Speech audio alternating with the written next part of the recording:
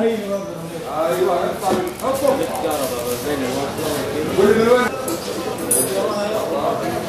روح يا عم روح. أنا رجل متقاعد في البيت.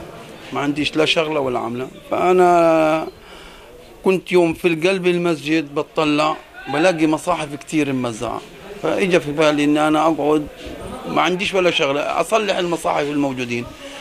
فالحمد لله طلع بيدي واشتغلت وطلع أجود الشغل يعني الحمد لله. المصاحف يكونوا موزعين ومتروكين على جنب ما حداش يمسكهم ما حداش يدور عليهم.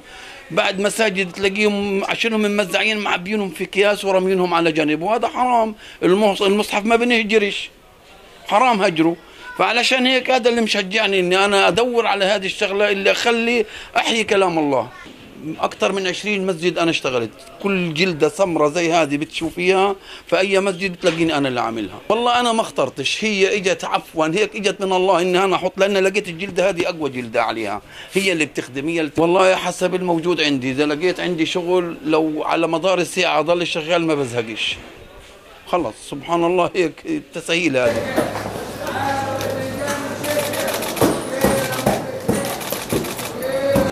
عندنا مصاحف كثير إحنا بنجمعها وبنجددها رحنا بلدية غزة طلبنا منهم محل إنه هذا تعاون مع البلدية مع أهل الخير وجبنا العدة هذه كلها.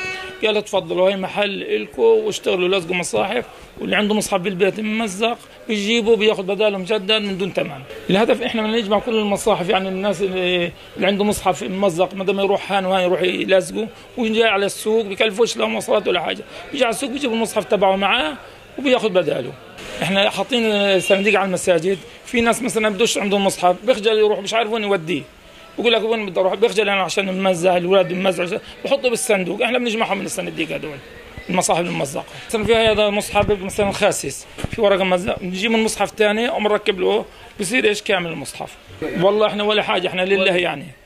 يعني أنا زلمة كبير بقدرش أعمل قاعد هالشغلة هذه. وزلمة كبير برضه قاعد يعني مستقر هو بيشتغل الشغلة هذه. يعني ما ناخذش فلوس من حدا